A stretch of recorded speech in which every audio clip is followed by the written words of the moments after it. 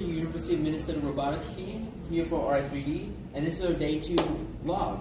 Um, what we did this or yesterday was we kind of just kept testing what we found on the first day, which was the um, in-body pickup system and launching.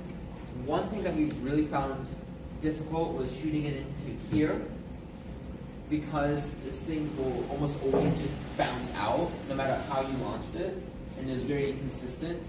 So we spent quite a while trying to think of ways that we can make sure it goes in with a high percentage um, and not completely change our design. Um, like just for example, like if we just like shoot it at this angle, and even if you shoot it lighter, it's just it's very easy for it to fall out.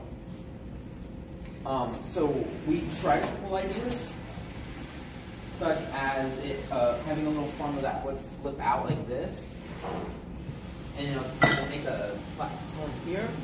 Um, we also tried just just shooting at different angles. What we ended up choosing is a piston that will hide behind this board, and then when we're ready to launch, it will uh, extend so when we shoot and inevitably bounces out, it will slide in. And we found that actually had an extremely high success rate.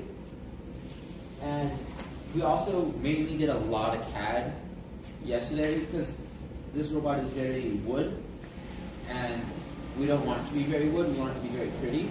So we're getting ready to do the laser cutting of the metal. So here's the CAD. Um, we kind of outlined a frame. It's not super high detail right now just because we're trying to get things logistically figured out. Uh, we're going to water jet this back piece with um, two wheels and a flywheel there.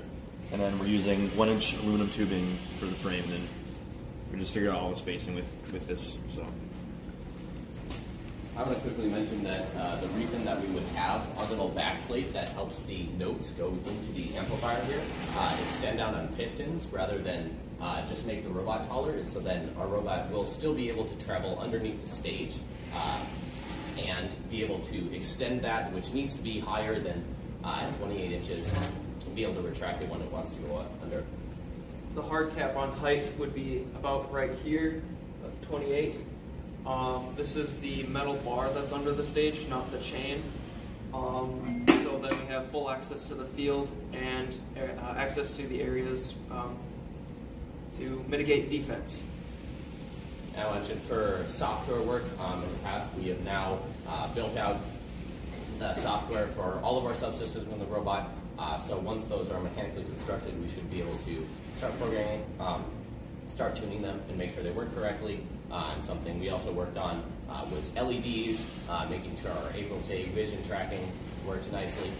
Uh, we looked a little into auto path planning, um, and then also uh, one thing I was exploring, and this isn't exactly new for this year, but uh, the WPI lib data logging uh, and using Advantage Scope to view that data. Uh, I've been trying it out and it looks very powerful, uh, very awesome. I would definitely recommend it for FRC teams, and there'll be a little more on that later.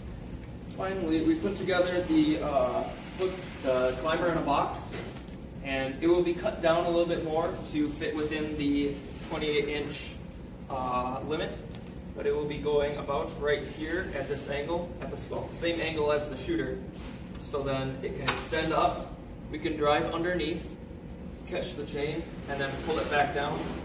And this ends approximately right above the center of mass of our robot.